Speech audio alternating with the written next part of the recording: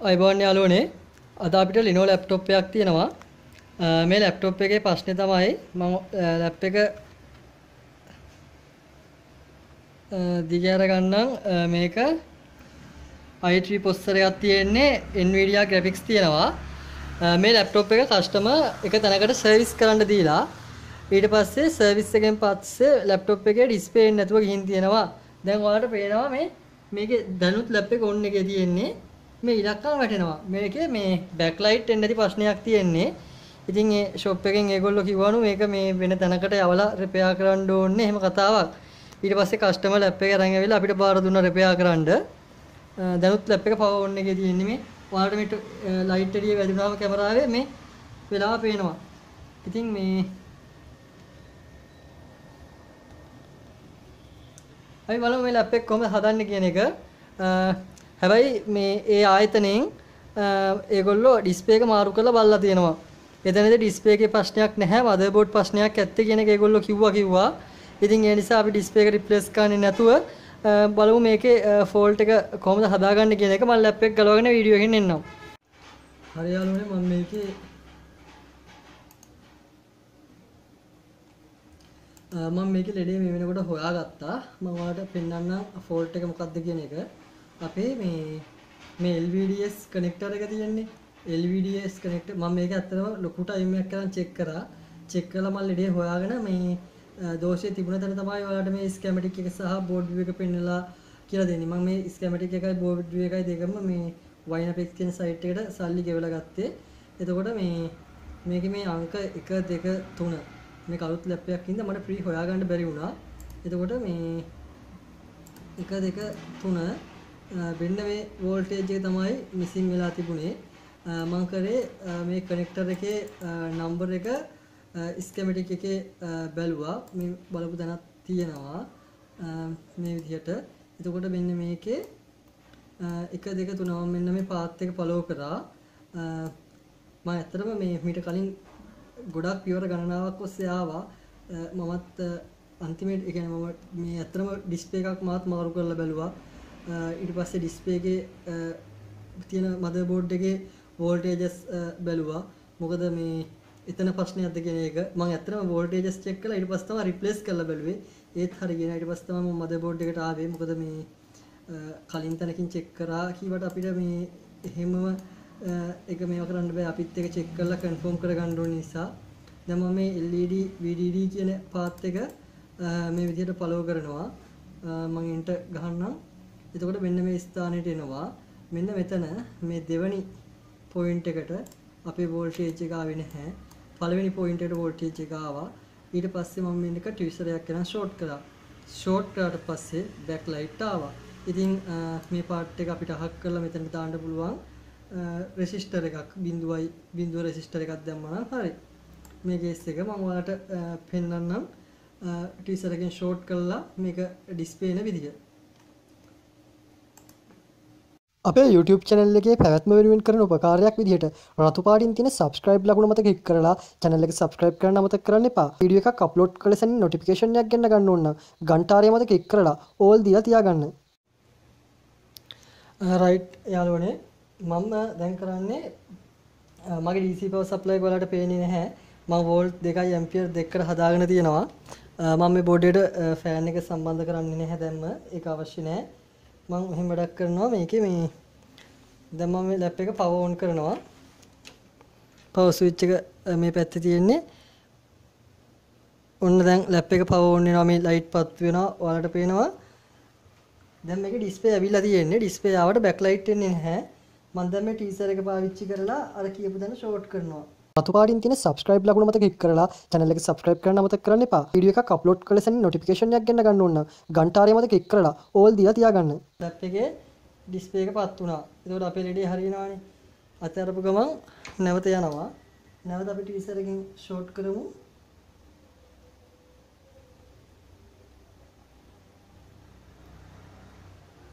Short කරපු ගමන් අපේ කේස් එක හරියනවා. එතකොට මේ මෙතන තමයි ප්‍රශ්නේ තියෙන්නේ. මේක ගලවලා බිඳුව බිඳුවේ රෙසිස්ටර් එකක් දාමු. පෑන් එක නැති හින්දා මම මේක ගලවනවා. දැන් බලමු මේක මේක රෙසිස්ටර් එක රිප්ලේස් කරලා. මේක ලෙඩේ හොයාගන්න පාවිච්චි කරපු පොඩි කෙටි ක්‍රමයක්. ටීසර් එකෙන් ෂෝට් කරන එක ෆෑන් එක නැති නිසා මේක සෑහෙන රත් වෙලා තියෙන්නේ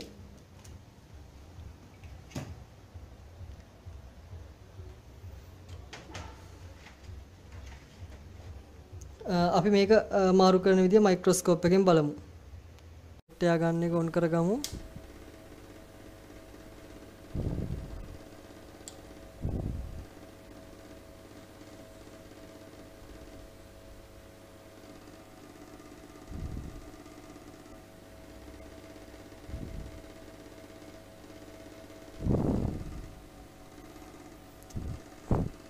අපිට මෙන්න මේක තමා මාරු කරගන්න ඕන වෙන්නේ මම මෙතන්ට ප්ලක්ස් ටිකක් දානවා.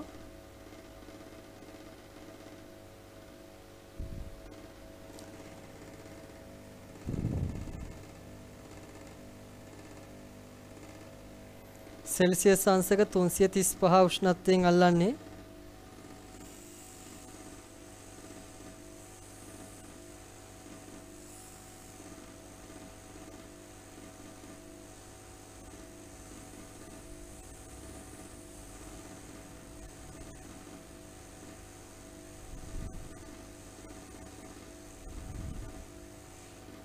මේක මේ 335න් පෑස්සෙන්නේ නැහැ.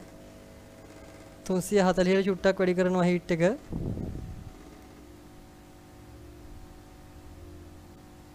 තා ප්ලක්ස් ටිකක් දාමු. මේ කනෙක්ටර්ස් මුකුත් නැහැ මෙතන උණු වෙන්න.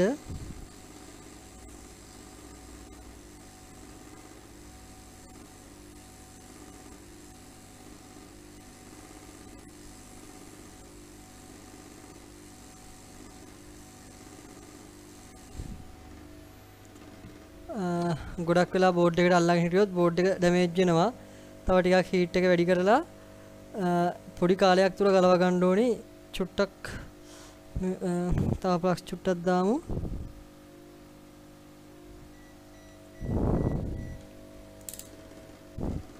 ඒත් හරි ගියේ නැත්නම් ඊයන් ටිකක් තියලා බලමු මේක මේ ගැලවෙන්න ටිකක් හොරයි වගේ.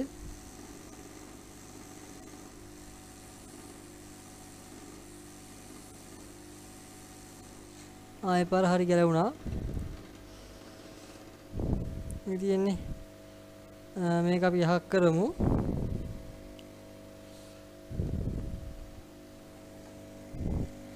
අ, මම කෑලි වලට තියාගෙන ඉන්න 3542 බෝඩ් එකක් තියෙනවා. sorry මේක 3521 බෝඩ් එකක් තියෙනවා. මේකෙන් අපිට පුළුවන් අ,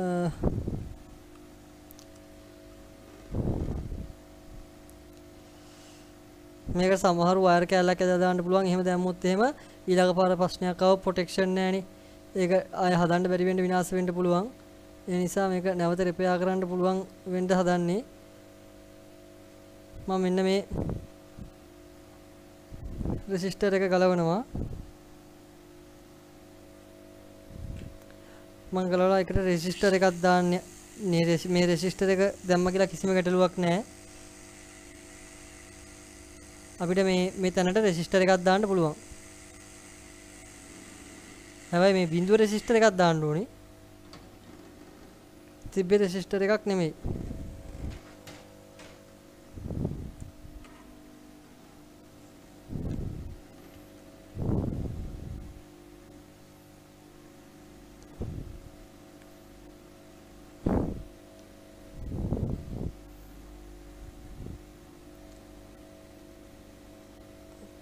කො- මේ මෙතනනේ තිබ්බේ.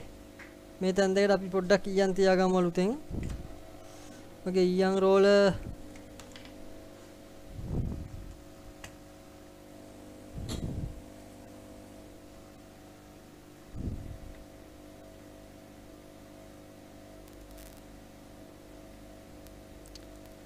ආය රෙසිස්ටර් එකක් තියෙන්න ඕනේ. අපිට රෙසිස්ටර් එකක් දාලා හරි බෝඩ් එක ගොඩ දානවා. ඒ තැන තැන අනුව බලන්න ඕනේ. බලලා මොන විදිහට හරි අපිට ඔන් වෙන්න හදන්න පුළුවන් ඉතින්.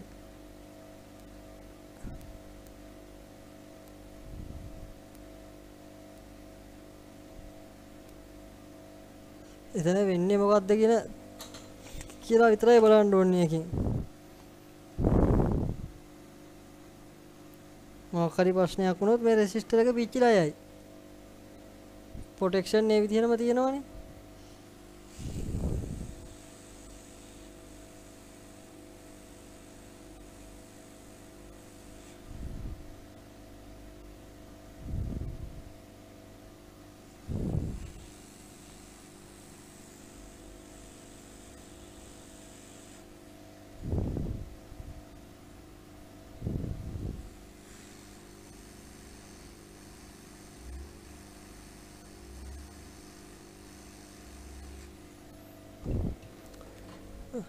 දැන් වෙලාව රෑ 11 හමාරයි කස්ටම මේක කැම්පස් එකේ එක්කෙනෙක්ගේ.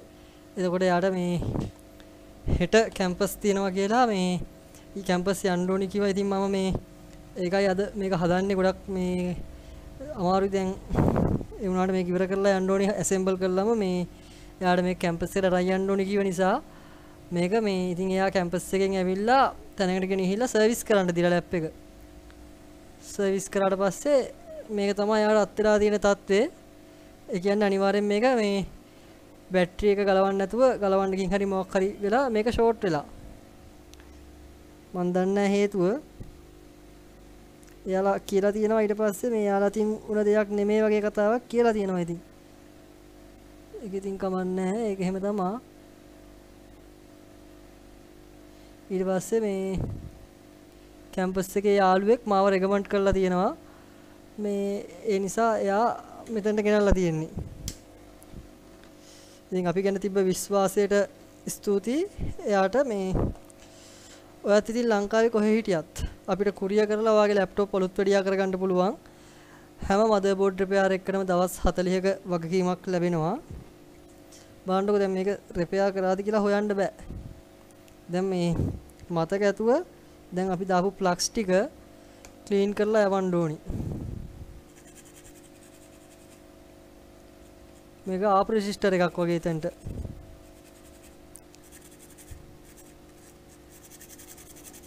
මම හොද්දට ක්ලීන් කරනවා මෙතන මේ රයිට් දැන් පාස්සපු පාරක්වත් මෙතන නැහැ.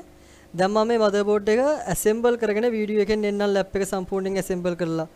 දැන් අපේ රිපෙයාර් එක 100%ක් සාර්ථකයි. දින 40ක වගකීමක් එක්ක කස්ටමර්ට දෙනවා වගේම කස්ටමර්ට දෙන්න කලින් මේක පැය 8ක්වත් මම එක දිගට ස්ට්‍රෙස් කරනවා. සාමාන්‍යයෙන් දැන් මේක ස්ට්‍රෙස් වෙන්න දාලා ගියාම මම ආයෙ හෙට උදේ තමයි අවිල්ලා බලන්නේ මේක. මොකද මේ සාමාන්‍යයෙන් පැය 8 ගානේ දවස් 3ක් ස්ට්‍රෙස් කරනවා. නමුත් කස්ටමර්ට හදිස්සි නිසා අපිට දවස් 3ක් චෙක් කරන්න බෑ රයිට් මම එහෙනම් මේක ඇසෙම්බල් කරගෙන වීඩියෝ එකෙන් එන්නම්. හරි යාළුවනේ ලැප් එක මම ඇසෙම්බල් කරගත්තා. අපි පවර් ඔන් කරමු.